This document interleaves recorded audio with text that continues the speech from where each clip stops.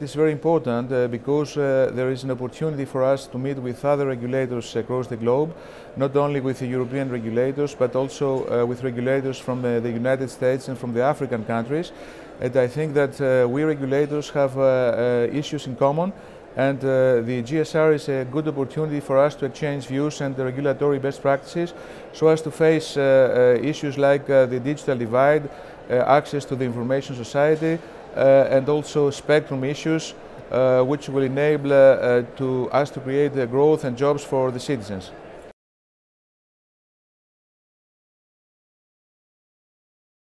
Uh, as, uh, as you know, in Europe, uh, we have three major issues. the first one is how to create next generation access networks, how, how to promote investment into next generation access networks. the second issue has to do with consumer empowerment and protection. And the third one, which is a, hot issue, is uh, to create a digital single market across Europe, uh, which will uh, allow European economy to, to grow and to produce consumer and citizen welfare.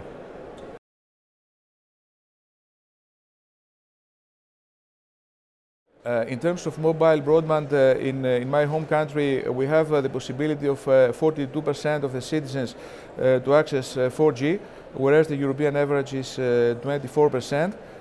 in Europe, in order to, to, to, see the broader, the broader spectrum, uh, there are um, uh, only 8% of the European citizens that may have access to 4G LTE.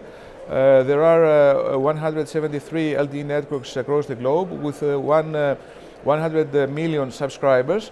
Uh, and uh, Europe uh, is, is unfortunately lagging behind. So I think it's a, it's a long way to go and we have to change the regulatory framework so as to adopt a lighter touch regulation and also a comprehensive spectrum policy, a harmonized spectrum policy, so as to boost the European economy as a whole.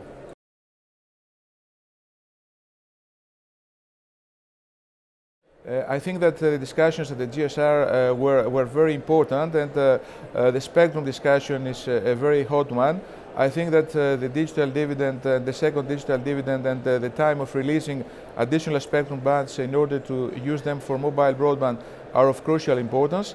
Uh, and moreover, I think that uh, the uh, financing of the universal service is a very important issue. how are we going to finance the universal service in order to enhance citizens' access to the information society? there are two mechanisms. one is a market-driven one, uh, through the creation of universal service uh, funds where all operators are contributing their fair share. And on the other hand there are possibilities uh, that are, that are mainly driven by state aid financing schemes uh, which is also a difficult issue because now the European economy is in a bad shape and uh, the European uh, uh bodies, the European Commission and the European Parliament uh, are not able to release the, uh, the necessary funds which are, which are necessary in order to ensure a broadband connectivity, a universal broadband connectivity.